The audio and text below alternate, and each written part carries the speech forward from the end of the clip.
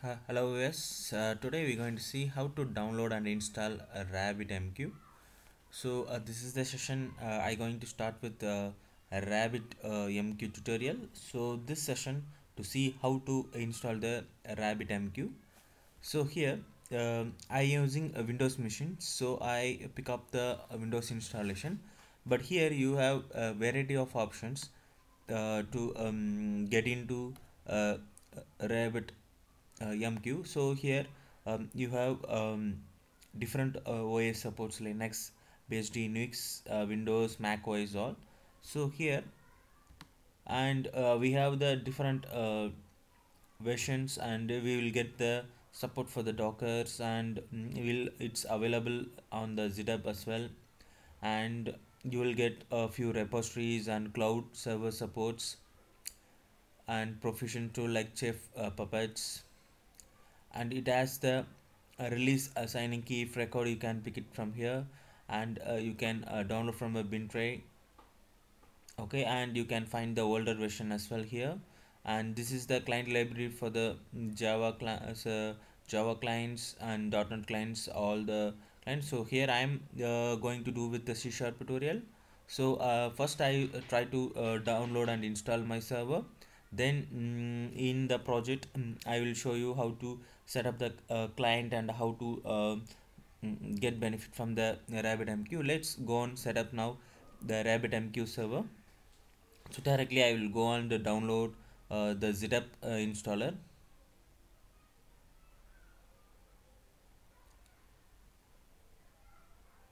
So it's around uh, 11 MB so it will take some few seconds based on your internet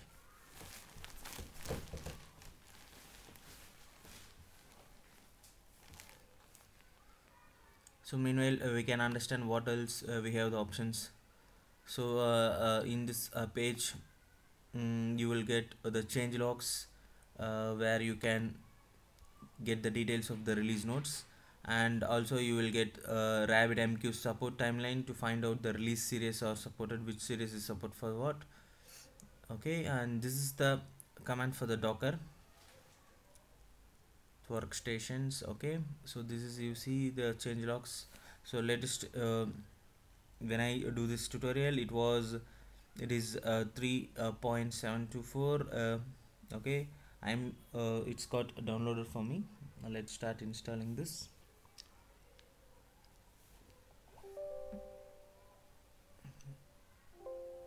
Okay so Erlang could not be directed. You must install Erlang before installing RabbitMQ. Could you like install to open the browser window to unlock? Yes, please.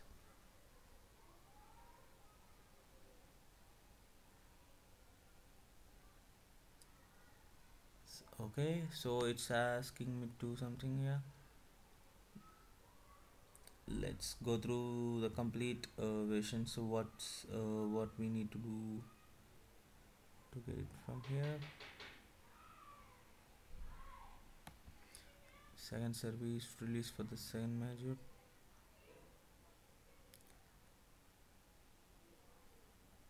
okay actually uh, I have a Windows 64 so let's try this.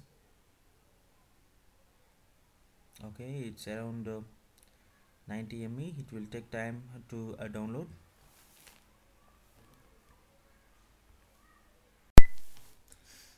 okay so this is what the dependency they provided. So rabbit mq record 64-bit supports version of uh, Erlang uh, Windows. Okay that's what we are trying to installing uh, so it's downloading okay. Uh, for the Windows install so uh, release for the Windows installer and the solution provides the binary 64-bit build. So that's what's uh, here which I picked up. Okay and what's the another important point is Erlang installer must be run as the administrator account. Otherwise registration key accepted by the rabbit mq install will not be present. So you should uh, install from the administrator account. And once supported version of Erlang is installed download the installer. So al already we downloaded this installer and yes using the default configuration. So no need to worry about this. It will start the windows service and it will mm, start using the default configuration. So let's uh, wait for the download to complete.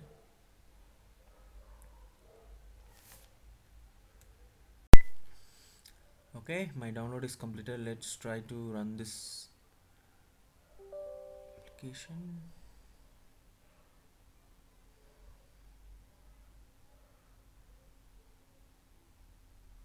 Okay i'm doing the default installation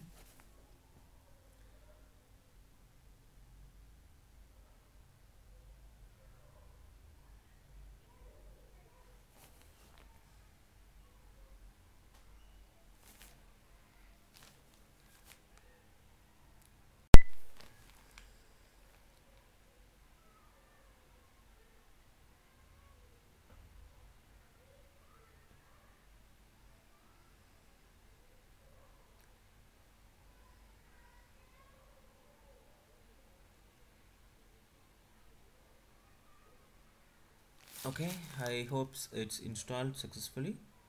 So let's try uh, now rabbitmq server. Okay it's now it's asking to install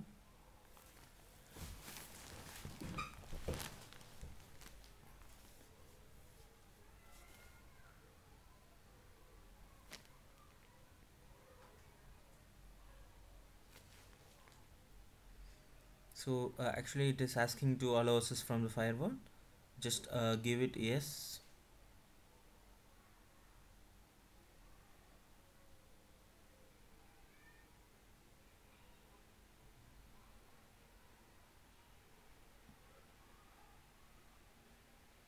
Okay it asks for Erlang to give the same permissions. Let's give this. Okay it's fine all fine. So give next so click finish uh, uh, to close the wizard. So rabbit server is installed successfully in your computer. So now all uh, fine. Okay so no more setups. Okay so this is all the custom. Okay. You can start you can start start uh, service from the service menu.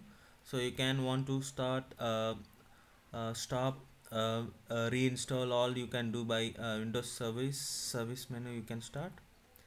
Okay you if you have existing installation plan to upgrade okay you must uninstall the broker uh, before upgrading the VM so so whenever uh, you want to upgrade to the Erlang so you must stop um, the installer will not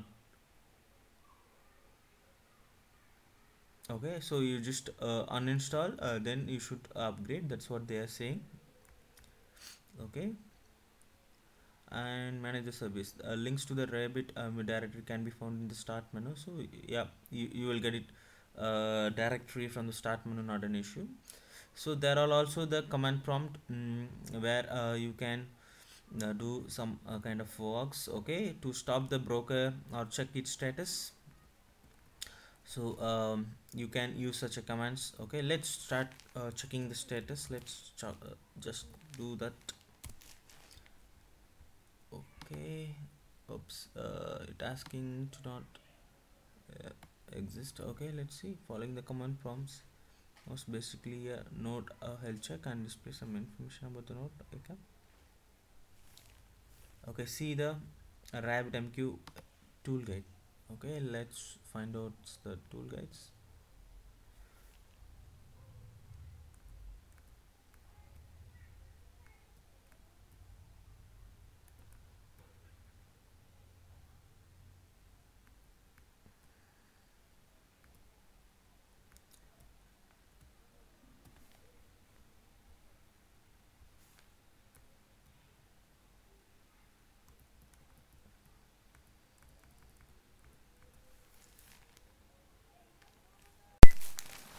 okay or uh, let's uh, go and search the rabbit mq okay so here we have the a list of uh, stuffs like uh, to start the service so let's just to do start service okay.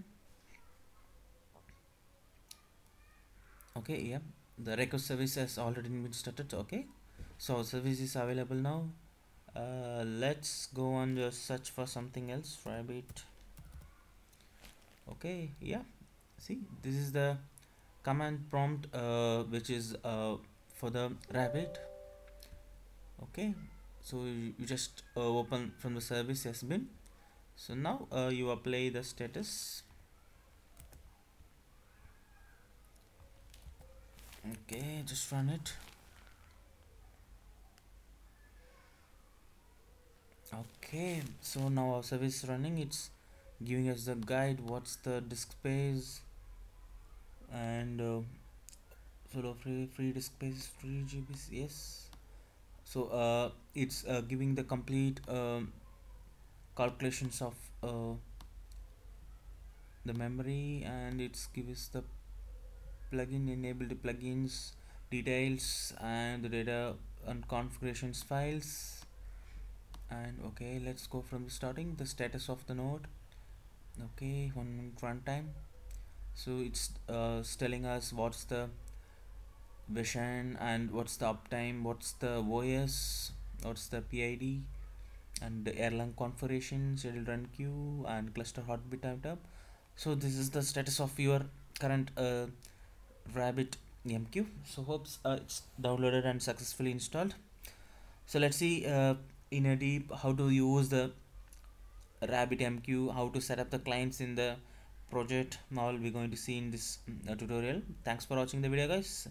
Just do install the setup ready. We'll come back with the next session.